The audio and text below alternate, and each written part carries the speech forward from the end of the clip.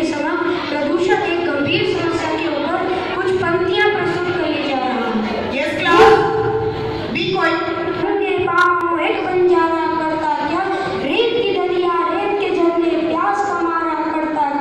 बादल बादल आग लगी थी छाया कर छाया को चुका था। पेड़ बेचारा करता क्या?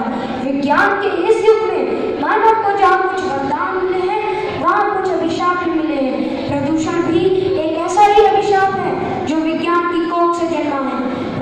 इसका अर्थ है प्राकृतिक संतुलन के दोष पैदा होना।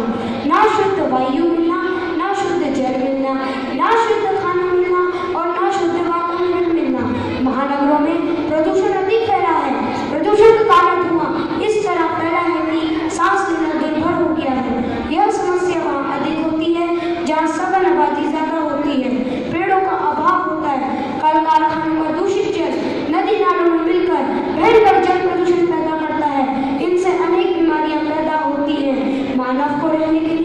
short